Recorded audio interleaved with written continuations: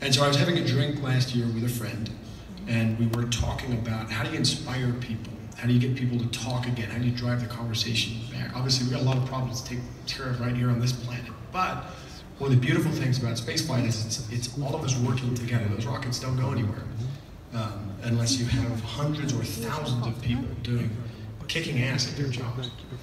Um, and we were trying to think of an image, something to sort of shock people into looking and thinking um, about this again. Um, what we came up with was a red sports car um, and, uh, and a David Bowie song. Uh, my friend Elon, who's with us here today.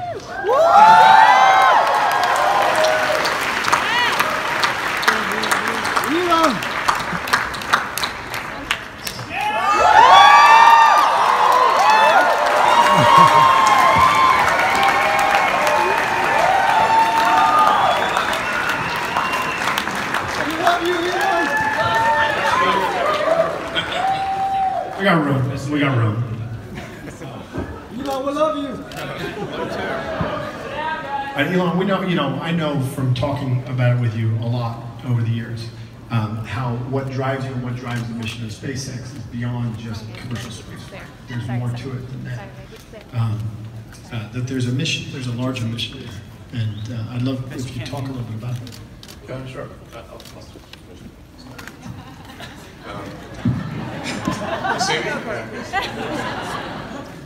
Um, Yeah, so, as, as Jonah was alluding to, there, there are a lot of negative things in the world. There's a lot of terrible things that are happening all over the world, all the time.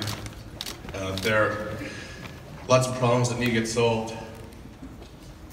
There's lots of things that are, yeah, that are miserable and kind of get you down.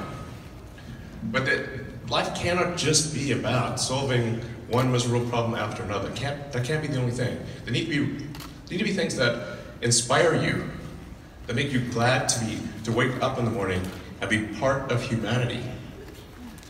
That's why we did this.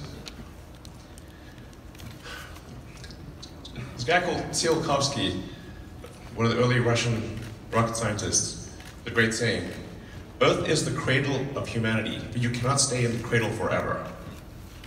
It is time to go forth, become a star-faring civilization, be out there among the stars, expand the scope and scale of human consciousness. I, I find that incredibly exciting. Uh, that, that makes me glad to be alive. I, I hope you feel the same way.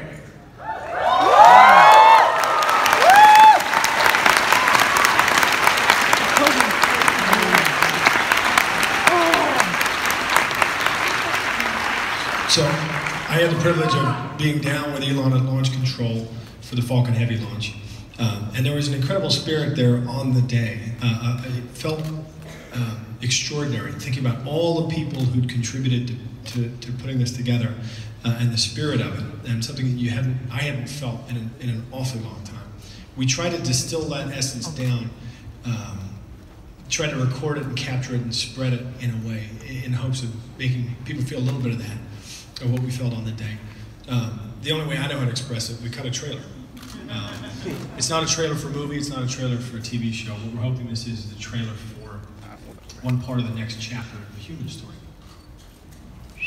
Yeah.